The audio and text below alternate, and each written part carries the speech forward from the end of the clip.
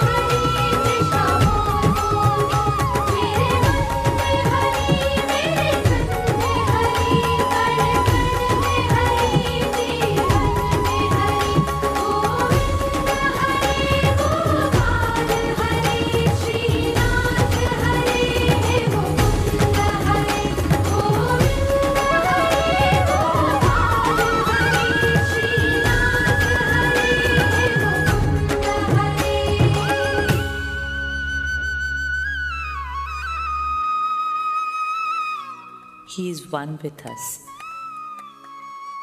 He exists within you, within me, in our conscience. He is omnipresent. He is everywhere. My Krishna, our Krishna.